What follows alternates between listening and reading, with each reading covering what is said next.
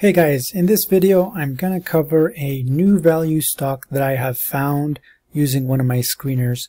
I'm going to show you why, although it looks cheap, why it's even cheaper than cheap, and how it actually makes money, which is a double win. A stock that is super cheap on the balance sheet and actually makes money.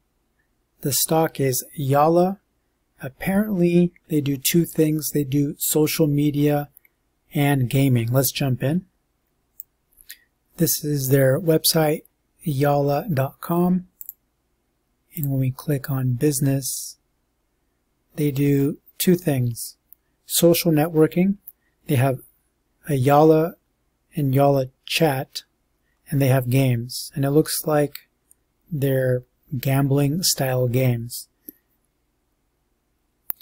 And I do want to point out that they are headquartered in Dubai, United Arab Emirates, and the business focuses on the Middle East and North Africa region. And with that introduction out of the way, this is the, the reason I'm most excited because the market cap says 595 million, so it's a smaller stock. But look at the cash position. 528 million. So you could buy the whole thing and you'd get all this cash available. Or another way to look at it is you're actually paying for a smaller amount of company when you factor out the risk.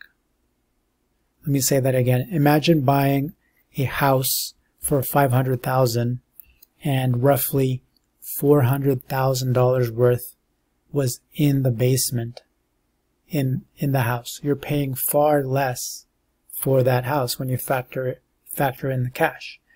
So apparently Yalla is aware of their cash position and they're looking to do buybacks and return cash to shareholders, which is great.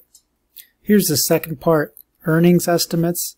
What they're expecting to make for this year is 73 cents. The share price currently is 385, so that gives it a PE of only 5.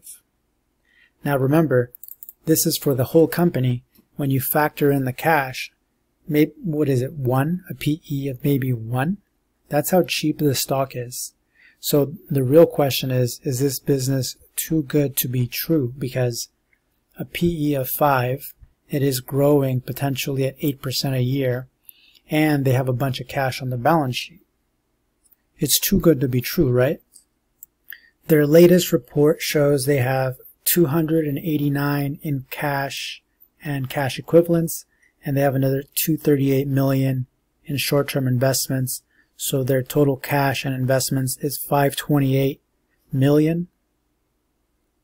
So with the information I just shared, cash per share is about a dollar eighty that's just the pure cash. But the tangible book value, which is all their goodies minus the intangible, invisible stuff like like goodwill, the tangible book value is closer to four dollars. So the share price is right around there, 385 versus 397. But the cash value is the most liquid, whereas the other tangible stuff, it, it's reported at cost and it may not be worth that much when they sell it, like their property, plant, and equipment. So the cash is actually the more useful number. So I drew a line at roughly about 360, maybe below there. Uh, anything below that, it, it starts to become like a Warren Buffett cigar butt type company that's just too cheap.